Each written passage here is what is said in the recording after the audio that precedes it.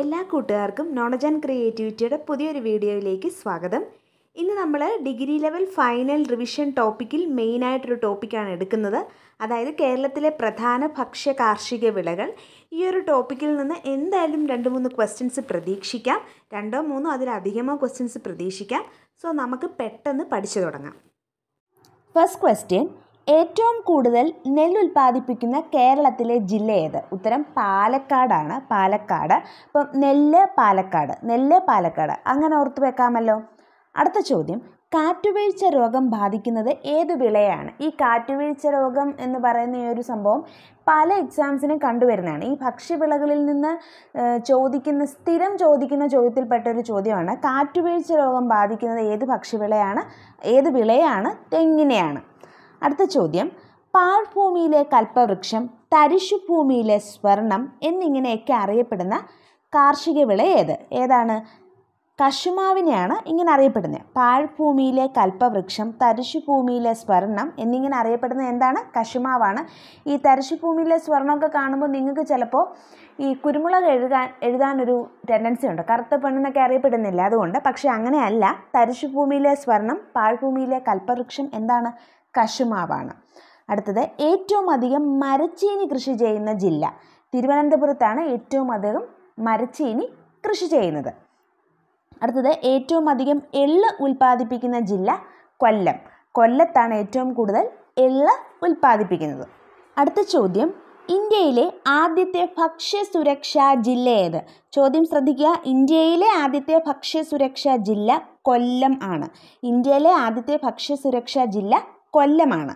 അടുത്തത് കേരളത്തിൽ ഏറ്റവും അധികം കരിമ്പ് കൃഷിയുള്ള താലൂക്ക് തിരുവല്ല താലൂക്കാണ്. അത് പത്തനംതിട്ട ജില്ലയിലാണ്. അപ്പം ഇങ്ങനെ വേണമെങ്കിലും ചോദിക്കാം കേരളത്തിൽ ഏറ്റവും അധികം കരിമ്പ് കൃഷിയുള്ള ജില്ല ചോദിച്ചാൽ പത്തനംതിട്ട ഏറ്റവും അധികം കരിമ്പ് കൃഷിയുള്ള താലൂക്ക് ചോദിച്ചാൽ തിരുവല്ല. അടുത്ത ചോദ്യം റബ്ബർ ഉൽപ്പാദനത്തിൽ മുന്നിലുള്ള കേരളത്തിലെ ജില്ല. കോട്ടയം ജില്ലയാണ് റബ്ബർ ഉൽപ്പാദനത്തിൽ കേരളത്തിൽ മുന്നിലുള്ള ജില്ല. അടുത്തത് കുരുമുളക് കൊക്കോ എന്നിവയുടെ ഉൽപ്പാദനത്തിൽ ഒന്നാമതുള്ള ജില്ല ഇടുക്കിയാണ്. കുരുമുളക് കൊക്കോ എന്നിവയുടെ ഉൽപ്പാദനത്തിൽ ഒന്നാമതുള്ള ജില്ല ഇടുക്കിയാണ് ഇടുക്കി. അടുത്തത് കേരളത്തിലെ പൈനാപ്പിൾ സിറ്റി എന്നറിയപ്പെടുന്ന വാഴക്കുളം ഏതു ജില്ലയിലാണ്? ഈ ഒരു ചോദ്യത്തിൽ പൈനാപ്പിൾ സിറ്റി ഏതാണെന്ന് അറിയത്തില്ലെങ്കിലും വാഴക്കുളം ഏത് ജില്ലയിലാണെന്ന് അറിഞ്ഞാൽ ഇതിന് ഉത്തരം എഴുതാം. എറണാകുളം ജില്ലയിലെ ഒരു സ്ഥലമാണ് വാഴക്കുളം. ആ ഒരു ആ ഒരു സ്ഥലത്തെയാണ് പൈനാപ്പിൾ സിറ്റി എന്ന് അറിയപ്പെടുന്നത്. കേരളത്തിലെ പൈനാപ്പിൾ സിറ്റി എന്നറിയപ്പെടുന്നത് വാഴക്കുളത്താണ്. വാഴക്കുളത്തിനെയാണ്. വാഴക്കുളം ഏത് ജില്ലയിലാണ്? എറണാകുളം ജില്ലയിലാണ്. അടുത്തത് കേരളത്തിൽ പരുത്തി ഉൽപ്പാദിപ്പിക്കുന്ന ജില്ല ഏത്? കേരളത്തിൽ പരുത്തി ഉൽപ്പാദിപ്പിക്കുന്ന ജില്ല പാലക്കാടാണ്. അപ്പം നമ്മൾ രണ്ട് കാര്യം പാലക്കാടിനെ പറ്റി ഇമ്പോർട്ടന്റ് ആയിട്ട് പറഞ്ഞു. എന്തൊക്കെയാണ്? ഏറ്റവും കൂടുതൽ നെല്ല് ഉൽപ്പാദിപ്പിക്കുന്ന ജില്ല ഏതാണ്? പാലക്കാടാണ്. അപ്പം നെല്ല് പാലക്കാട് പിന്നെ ഏതാണ്? പരുത്തി. അല്ലെങ്കിൽ നെല്ല് പരുത്തി പാലക്കാട്. ഇങ്ങനെ ഓർത്ത് വെക്കുക. അടുത്തത് കാപ്പി ഇഞ്ചി എന്നിവയുടെ ഉൽപ്പാദനത്തിൽ ഒന്നാമതുള്ള ജില്ല വയനാട്. കാപ്പി ഇഞ്ചി ഏറ്റവും അധികം എവിടെയാണ്? വയനാട്. അടുത്തത് കശുവണ്ടി ഉൽപ്പാദനത്തിൽ ഒന്നാമതുള്ള ജില്ല. കശുവണ്ടി ഉൽപ്പാദനത്തിൽ ഒന്നാമതുള്ള ജില്ല കണ്ണൂരാണ്. പക്ഷേ ഏറ്റവും അധികം കശുവണ്ടി ഫാക്ടറികൾ ഉള്ളത് എവിടെയാണ്? കൊല്ലത്താണ്. അത് കൊല്ലത്ത് ഉള്ളവർക്കും പോയവർക്കൊക്കെ അറിയാം. നമുക്ക് പോകുന്ന വഴിക്ക് ഒരുപാട് കശുവണ്ടി ഫാക്ടറികൾ കാണാൻ സാധിക്കും. അപ്പം കശുവണ്ടി ഉൽപ്പാദനത്തിൽ ഒന്നാമതുള്ള ജില്ല കണ്ണൂരാണെങ്കിൽ ഏറ്റവും അധികം കശുവണ്ടി ഫാക്ടറികൾ ഉള്ളത് എവിടെയാണ്? കൊല്ലത്താണ്. അടുത്തത് പുകയില ഉൽപ്പാദനമുള്ള കേരളത്തിലെ ഏക ജില്ല ഏതാണ്? ഏതാണ് പുകയില ഉൽപ്പാദനമുള്ള കേരളത്തിലെ ഏക ജില്ല? കാസർഗോഡാണ്. ഇതൊരു പ്രീവിയസ് ക്വസ്റ്റ്യൻ ആണ്.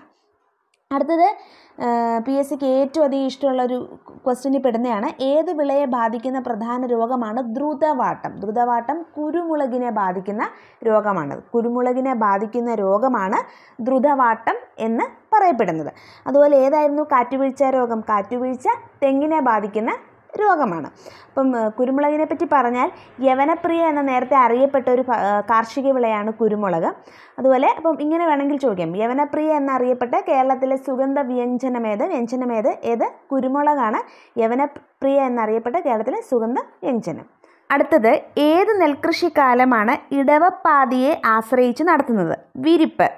അപ്പം ഇതിനെപ്പറ്റി കുറച്ച് കാര്യങ്ങൾ ഞാൻ പറഞ്ഞു തരാം. ഞാൻ നോട്ടായിട്ട് എഴുതിയിട്ടില്ല. പക്ഷെ നിങ്ങൾ എവിടെയെങ്കിലും ഒന്ന് നോട്ട് ചെയ്ത് വെച്ചാൽ മതി.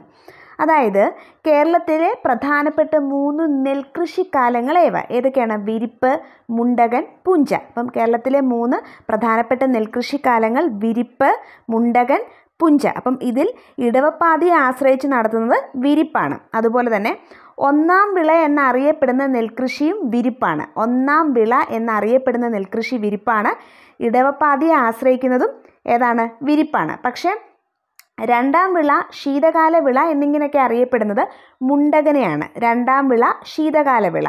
ഇനി മൂന്നാം വിള ഗ്രീഷ്മകാല വിള എന്നിങ്ങനെ അറിയപ്പെടുന്നത് നെൽകൃഷി സീസൺ പുഞ്ചയാണ്. അപ്പം രണ്ടാം വിള ശീതകാല വിള മുണ്ടകൻ മൂന്നാം വിള ഗ്രീഷ്മകാല വിള പുഞ്ച ഇനി തുലാവർഷത്തെ ആശ്രയിക്കുന്നത് മുണ്ടകൻ സീസണാണ്. തുലാവർഷത്തെ ആശ്രയിക്കുന്ന നെൽകൃഷി സീസൺ മുണ്ടകൻ സീസണാണ്. വേനൽക്കാല മഴയെ ആശ്രയിച്ചുള്ള നെൽകൃഷി സീസൺ ഏതാണ്? പുഞ്ചയാണ്. അപ്പം തുലാവർഷം മുണ്ടകൻ വേനൽക്കാലം വേനൽക്കാല മഴ പുഞ്ച അടുത്തത് ഏറ്റവും ദൈർഘ്യം കൂടിയ ഞാറ്റുവേല ഏത്? തിരുവാതിര ഞാറ്റുവേലയാണ് ഏറ്റവും ദൈർഘ്യം കൂടിയ ഞാറ്റുവേല. ഇതാണ് കൃഷിക്ക് ഏറ്റവും അനുയോജ്യമായി കരുതിപ്പോരുന്ന ഞാറ്റുവേല. അതുപോലെ തന്നെ കുരുമുളക് കൃഷിക്ക് ഏറ്റവും അനുയോജ്യവും ഈ ഞാറ്റുവേലയാണ്. അടുത്തത് കുറച്ച് വിളകളും അതിന്റെ ഇനങ്ങളും പേരുകളാണ്. പ്രധാനപ്പെട്ട ഇനങ്ങളാണ് ഞാൻ പേരുകളായി കൊടുത്തിട്ടുള്ളത്. കാരണം ഒരുപാടുണ്ട് പക്ഷേ എല്ലാം കൂടെ നിങ്ങൾ ഓർത്തു വെക്കില്ല. അപ്പം ഓർത്തു വെക്കാൻ എളുപ്പമുള്ളതും അതുപോലെ പഴയ ക്വസ്റ്റ്യൻസിലൊക്കെ വന്നിട്ടുള്ളതുമായിട്ടുള്ളതാണ് ഞാനിതിൽ ഉൾപ്പെടുത്തിയിരിക്കുന്നത്. സോ നമുക്ക് ഓരോന്നായിട്ട് പഠിക്കാം. അടുത്ത ആദ്യത്തേത് പാവൽ. ഇപ്പോൾ പാവലിന്റെ ഇനങ്ങളുടെ പേരാണ് പ്രിയ പ്രീതി പ്രിയങ്ക. ഞാൻ ഇങ്ങനൊരു ഒരു എന്താ ഒരു ഓർഡർ തന്നതാണ്. പ്രിയ പ്രീതി പ്രിയങ്ക. പഠിച്ചു വെക്കരുതോ? പാവൽ പ്രിയ പ്രീതി പ്രിയങ്ക. അടുത്തത് ചുവന്ന ചീര. വളരെ ഇമ്പോർട്ടന്റ് ആണ്. കണ്ണാറ ലോക്കൽ അരുൺ കൃഷ്ണശ്രീ. കണ്ണാറ ലോക്കൽ ഈ കണ്ണാറ ലോക്കൽ എന്ന് പറയുന്ന പേര് ഒരു ഡിസ്റ്റിങ്ക്റ്റ് പേരാണ്. അതായത് ഒരു ഡിഫറെന്റ് പേരാണ്. അപ്പോൾ തന്നെ നമുക്ക് ഒന്ന് ഓർത്തു വെക്കാം. ചീരയുടെ ഒരു ഇനമാണ് കണ്ണാറ ലോക്കൽ പിന്നെ ഏതൊക്കെയാണ്? അരുണും കൃഷ്ണശ്രീയും. കുരുമുളക്. കുരുമുളക് പന്നിയൂർ രണ്ട് മൂന്ന് നാല് അഞ്ച് ആറ് ഏഴ്. കുരുമുളകിന്റെ ഒരു ഇനമാണ് പന്നിയൂർ. അത് ഓൾമോസ്റ്റ് എല്ലാവർക്കും അറിയാവുന്ന ഒരു സംഭവമാണ്. പന്നിയൂർ കുരുമുളകിന്റെ ഇനമാണ്. പിന്നെ ഏതൊക്കെയാണുള്ളത്? പഞ്ചമിയും ശ്രീകരയും. പഞ്ചമി ശ്രീകര. അടുത്തത് തെങ്ങ്. ആനന്ദഗംഗ കേരഗംഗ കേരശ്രീ കേരസൗഭാഗ്യ. ആനന്ദഗംഗ കേരഗംഗ കേരശ്രീ കേരസൗഭാഗ്യ. ഈ തെങ്ങിനെ പറ്റി പറയുകയാണെങ്കിൽ തെങ്ങിന് ഒരുപാട് ഇനങ്ങളുണ്ട്. അതിൽ ഏറ്റവും പ്രധാനപ്പെട്ടതാണ് ആനന്ദഗംഗ കേരഗംഗ കേരശ്രീ കേരസൗഭാഗ്യ അടുത്തത് മരച്ചീനി കൽപ്പക നിധി ശ്രീജയ ശ്രീ വിജയ ശ്രീപ്രകാശ് ശ്രീരേഖ ശ്രീ പത്മനാഭ എന്നിവയൊക്കെയാണ് മരച്ചീനിയുടെ ഇനങ്ങൾ. അടുത്തത് വെണ്ട വെണ്ടയുടെ ഏതൊക്കെയാണ്? സൽകീർത്തി സൽകീർത്തി നേരത്തെ ചോദിച്ചിട്ടുള്ളതാണ്. കിരൺ സുസ്ഥിര. അപ്പം വെണ്ട സൽകീർത്തി കിരൺ സുസ്ഥിര. അടുത്തത് പടവലം പടവലത്തിന്റെ കൗമതി ബേബി മനുശ്രീ. കൗമതി ബേബി മനുശ്രീ.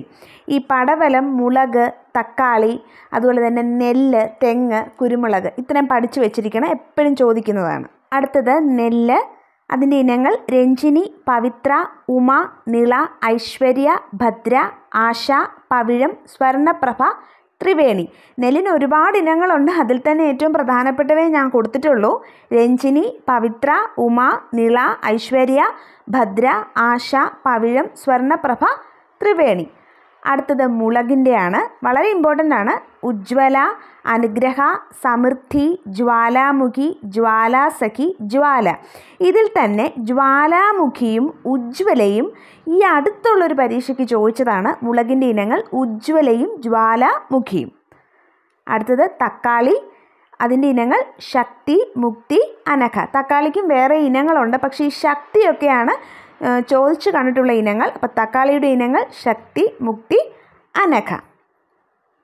ഇന്നത്തെ വീഡിയോ എല്ലാവർക്കും ഇഷ്ടമായി മനസ്സിലായി എന്നൊക്കെ വിശ്വസിക്കുന്നു. എന്തെങ്കിലും ഡൗട്ട്സോ വേറെ ഏതെങ്കിലും ടോപ്പിക്സൊക്കെ നിങ്ങൾക്ക് വേണമെങ്കിൽ ആ കമന്റ് ബോക്സിൽ ഒന്ന് കമന്റ് ചെയ്യുക. അതുപോലെ തന്നെ എന്റെ ചാനൽ സബ്സ്ക്രൈബ് ചെയ്യാത്ത കൂട്ടുകാരൊന്ന് സബ്സ്ക്രൈബ് ചെയ്യണേ. അതുപോലെ തന്നെ വീഡിയോ ഇഷ്ടമായെങ്കിൽ വീഡിയോ ലൈക്ക് ചെയ്ത് കൂടെയുള്ള ഫ്രണ്ട്സിനൊക്കെ ഒന്ന് ഷെയർ ചെയ്യണമേ. So thank